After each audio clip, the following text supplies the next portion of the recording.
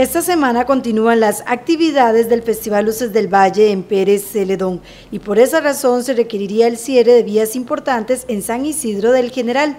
El jueves 6 de diciembre será la noche cultural, por lo que se tendrá que cerrar la calle al costado sur del parque. El viernes 7 de diciembre se llevará a cabo el tope nocturno, que este año tendrá otro recorrido, saliendo del antiguo plantel municipal en Barrio Las Américas. En este caso, se cerrará la vía hasta el parque y el sábado 8 de diciembre será el esperado desfile, donde se comenzará a cerrar con vallas y estañones desde muy temprano. El alcalde Jeffrey Montoya indicó que siempre va a existir incomodidad por estos cierres, pero se trata de coordinar con la Cámara de Comercio. Nunca va a desaparecer, eh, Carmencita, o sea, siempre va a haber eh, incomodidad, este, hemos tratado pues de que eh, se vea de que son las mismos, la misma empresa privada principalmente pues la que apoya este tipo de actividades y en eso pues hemos tratado de sensibilizar a través de la Cámara de Comercio, a través de los grupos organizados, pero bueno, siempre van a haber quejas en cuanto a lo que es eso y, pues hemos tratado de persuadir un poco, disuadir, disuadir un poco, convencer un poco pues a la población, al comercio en general de que pues eh,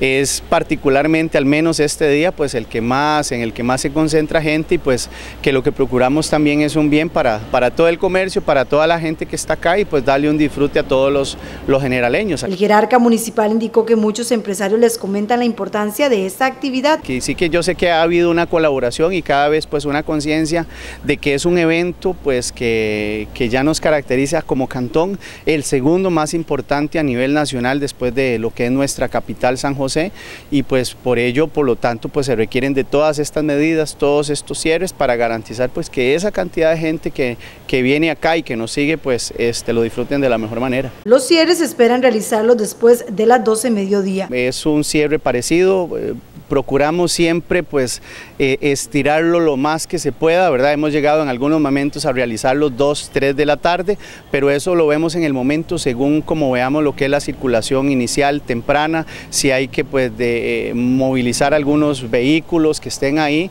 y pues a partir de esa hora, según cómo se van los movimientos acá en el centro urbano este, se realizan, pero al menos el, lo que es la medida inicial pues sería a partir del mediodía, así es. Así que tome en cuenta estos cierres para estos días del Festival Luces del Valle.